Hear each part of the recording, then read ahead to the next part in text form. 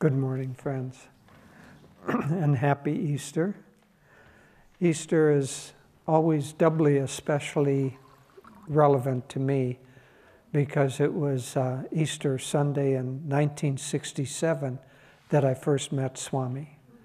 And that was certainly a resurrection from lower qualities into higher qualities that began at that time. So, lest we think that the events of this week were long ago and far away, let's just close our eyes and imagine that we're one of a very small group of people, 12 people or so, and we're with Jesus or with Master. And last week on Sunday, we came into Jerusalem together, and large crowds were gathered around, having heard about all the miracles, and they were all joyful and singing, throwing palm fronds in front of us as a way of kind of celebrating the entrance. And so we had that beautiful, glorious day. And then a day or two passed. And then on Tuesday, we came again with Jesus back into Jerusalem. And this time, Jesus didn't come kind of quietly and joyfully. He came to challenge the power structure, the worship, the priests who were leading people astray. And among other things, they were changing money in the temple and he came and he drove out the money changers. Now, they were already upset with him. But this direct challenge imagine yourself being there with Master, with Jesus, when this took place. And uh, as you can well imagine, it must have been a difficult, confrontive, uh, perhaps challenging time for you, whether you were glad that he had done it or a little bit feeling that maybe he's overstepped his bounds this time. Nonetheless, it was, it was uh, an unsettling event. And then two days later, on Thursday, you all came again and you celebrated Passover, a special dinner that all the Jews celebrate. And in that dinner, Jesus seemed somber. And he said these special words, broke the bread that is part of the celebration, the dinner. He said, This is my body. Take it and eat it. And as he drunk, served the wine, drank the wine, he said, This is my blood, which has been shed for thee. Very strange way to celebrate this Passover feast. Then he said, One of you is going to betray me. And then, right after dinner, he went to a garden, Garden of Gethsemane, because he wanted to pray deeply. Very somber moment. And he asked some of his close disciples to come with him and to stay awake and pray with him. But it was late at night. You weren't able to do that, fell asleep. And Jesus prayed, Lord, let this cup be taken from me, if that's possible. But I surrender my will to your will. let your will be done, not my own. He prayed that way three times. And then he got up again awakened you. And soldiers came and they took him away. This is Thursday night. On Friday, he was taken and tried and crucified and then taken to the tomb. Now it's Sunday, and the events of Easter have happened. And as Janaka explained, we can open our eyes now as Jonica explained, it must have been a very mixed time.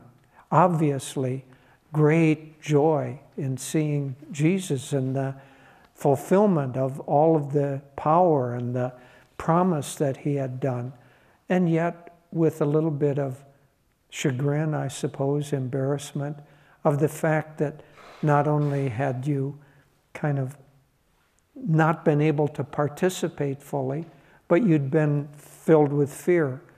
One of his closest disciples denounced him or denied that they knew him three times that night. So you were ashamed of your fear and yet joyful in the, um, in the resurrection of Jesus. But as Jonica explained, the consciousness of Jesus was not that at all. He was coming to bless you. Jesus had been a man. He had been gone through all the trials of any human being, all of the delusions, all of the difficulties, the tests, the trials, because as Master explained, he had to have gone through all these great masters. They go through everything that we're going through until they're able to transcend any attachment and any delusion in this world. And Jesus, in a previous lifetime, had become completely freed from not only delusion, but from all karma. And then that made him the uh, made him free. He was a liberated soul. But very, very few liberated souls decide to come back and help others. Ramakrishna told a story of three men walking along and they saw this high wall and they heard all this laughter and joy coming from behind the wall. And they wanted to see what was going on. So one of them boosted up another one and he looked in and he saw this beautiful garden. All these people just filled with joy. And he was so taken with it that he jumped over the wall and went into the garden, leaving the other two. And so the second one boosted up, the, the, one of them boosted up a second one, and he too saw this beautiful, attractive garden, and he too jumped over and disappeared, uh, leaving the third one. So he found a log, put it up against the wall, clambered up, and he too was very much wanting to jump over and be in, in paradise forever. But he thought, if I do that, who will help all the others who don't even know of the existence of this? And so, denying that, he came back to help humanity. Now, there were only three of them, but this goes on with millions and millions who are freed jumping over the wall and saying, I've had enough. I've had enough of all that trouble and trial, as we say every week in the uh, Festival of Light, from a life of uh, tremendous joy and freedom in God, willingly to embrace limitation, pain, and death for the salvation of mankind. Such ever has been the choice of the masters for this world. So, what is the consciousness that allows someone like Jesus or like any of our line of masters to choose to do that? Well, Master told us. Beautiful poem, God's Boatman.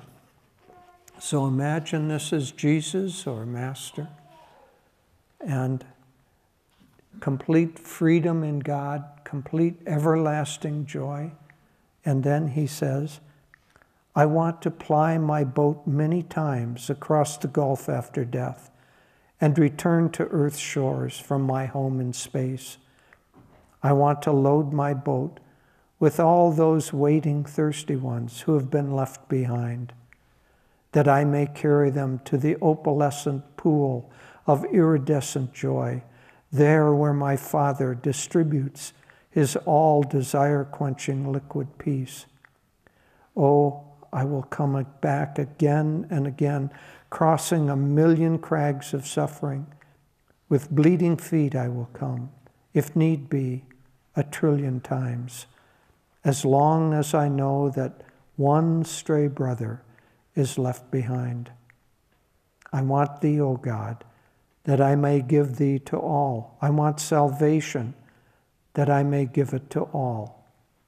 Free me then, O Lord, from the bondage of this body, that I may show others how they too can free themselves.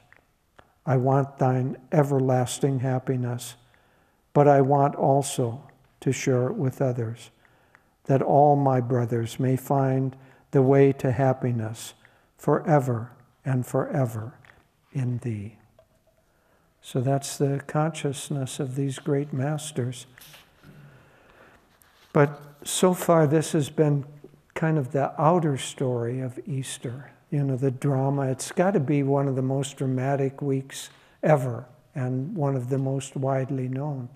And yet, if we remain only on the surface and don't see behind what was really happening, we'll miss the point of Easter for ourselves. So obviously, let's let's look a little bit deeper. How did how did Jesus free himself? Well, he freed himself by, as we heard in the Bhagavad Gita, by his consciousness being turned completely toward God until nothing else mattered, nothing else, there was no other desire, there was no other uh, attraction that made him do anything except seek union with God. And he went through, as, as Master explains, many lifetimes. And in a former lifetime, he and, um, and Sri Yukteswar were Elias and Elisha, uh, prophets of, of Israel from centuries before. And so that, that great consciousness kept developing and developing until there was complete freedom. But then he came back, not just to go through a drama of Easter, he came back the same because it was a changing of ages. It was in the depths of Kali Yuga, and a time had come when the way people worshiped God had to change, had to evolve from a rule based um, law and discipline and um, uh, very, I, I don't know, structured way of worship to one of love and compassion and caring. And he was always in conflict during his lifetime with the powers because they were more rule based and he was love based. And he was bringing a new way of worshiping God not the God of the Old Testament that was just waiting for you to make a, uh, a mistake and then he was going to give it to you, but the God of the New Testament filled with love and joy and promise. So Jesus too was bringing a new way of worship, just as Master in this line of gurus is bringing a new way of worship in this age. And he gathered around this group of close disciples and we think of the thought, oh, they were a little embarrassed and so on. But he was the, the sacrifice of Jesus uh, on the cross was actually him taking on the karma, somewhat for the world, but primarily for his disciples. In our teachings, Master has said that the, his effort on our behalf the Guru's effort on behalf of the disciple is just as much energy of freedom as our effort is. And God's grace is another 50%. So all of our effort is matched by God. Well, we have to, Swami, in a deeper reading of this, he talked about the necessity for the disciples to go through their own trials because they have to become purified in order for their consciousness to be able to also go into freedom, go in. So, all of us, we have to go through trials in order to do that. I don't want to make a comparison, but um, Devi and I, and Diana and others, um, Ram, um, spent a very difficult first winter trying to get the work established in Italy. It was very cold, coldest in a hundred years. For us, we had to leave, let our son leave, go back to America. We were separated. We had very little money. Um, didn't speak the language. It was a difficult winter. When Swami came in the spring, he said simply, I know that that was difficult, but nothing great can be accomplished without someone's tapasya. And so, if we want something to happen, if we want a higher consciousness, a resurrection, an upliftment for mankind, it's not that we have to suffer, but we have to do the tapasya that is needed to free us from our attachments and our desires. And without that, we cannot be really instruments for God. And so, so uh, Jesus, in that lifetime, his sacrifice was in large part, Master said, to help release the close disciples from, from karma so that they had more spiritual power. And when he resurrected, he came and visited them. And that's the time of doubting Thomas. Thomas still wasn't quite sure that this was really a resurrected form. He said, Put your finger in my, in my wound here. And then Thomas felt it, could finally believe. But Jesus wasn't there just to say, Oh, see, I'm alive. He was there and he gave them the commission.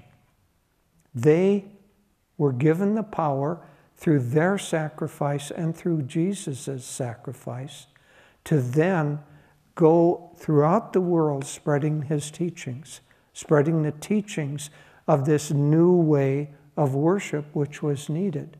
And so that was not only the, uh, one might say, the resurrection of Jesus, but it was also the beginning of the dispersal of the teachings which we know as Christianity. Now, original Christianity honestly was much closer to what we practice than to what it was in the Middle Ages. It again became formalized. But that's why in this age, Jesus appeared to Babaji and said, Send somebody to bring back my original teachings, my original teachings of union with God. And so, this drama of Easter, in one way or another, is like a metaphor that repeats and repeats and repeats. God comes at the time of some sort of darkness or at the time of the confluence of the proper timing of the ages. And he comes in the form of an avatar who takes on whatever role is necessary in that age.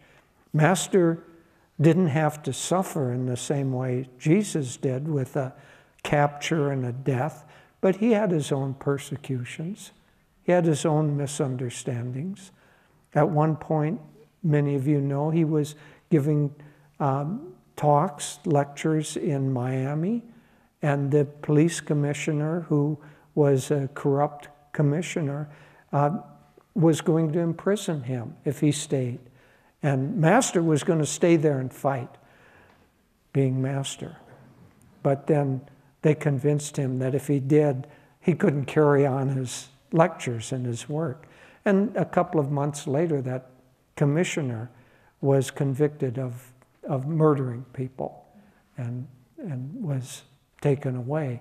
But nonetheless, the point being that all these great masters, even if it's a relatively calmer incarnation, remember they've come from complete freedom and joy in God. And they have manifested into this world of duality where they're suffering even to have a body uh, on their level. So Jesus came, Master came in order to help give us the proper teaching so that we too can be Christ like. And so the teachings of this age that we have are teachings of being able to withdraw our energy, our life force, and direct it. It's the age of energy, and direct it to and into the spiritual eye. And the essential difficulty of all people seeking God of all times is that their minds are scattered because they're drawn outward by desires and by attractions or, or repelling, being repelled by the world. The mind is scattered. And the practices that we have are to withdraw the mind so that it becomes stable in meditation. And when it can become stable in meditation, Master said, as his was, that he could sit instantly, look into the spiritual eye, and he could see, literally, could see Jesus anytime that he wanted. And he said, I can see him in the spiritual eye just as clearly as I see you sitting there. We all have that power. Master wasn't, none of these masters are saying, Oh, I'm special and you poor people. They're saying, This is your potential. This is what you too can do. That's the real story of the resurrection of Christ because we are all carrying Christ consciousness. It just hasn't yet become resurrected in us. So these masters come in part to give us teachings, but more than that, they come for those who cling to them, as it said in the Gita, who, who, who see only them, want only them. The more that they do that, the more these masters come to empower us with their grace and they take on karma. Master said that he too took on the karma. The great masters who act in freedom, all of those miracles, all of the healings, all of the kindness, all of the compassion and support that Jesus did, that had its own karma. It came back, but because there was no ego there in Jesus, it came back and benefited his disciples. The same with Master. All of the goodness that he put out into the world, that, that sends, that energy comes out and it has to come back. But Master isn't there as an individual, as an ego to receive it. And so it is spread to all of those close disciples, most of all, but disciples, anyone who turns their energy to them, receives the grace of these great masters. And you and I are very, very blessed to be as close to the source of the what we feel is the avatar of this age, to be that close to the source of that. And for most of us, to be dedicated also, as the disciples were, to doing the work of spreading the mission of God in the form of this Master for this age. It's a very, very blessed life. And so we're not too unlike those disciples on the eve of Easter when God gave them, or when God in the form of Christ gave them the commission and the blessing and the love and the grace. Open your heart, and I will enter and take charge of your life. God bless you.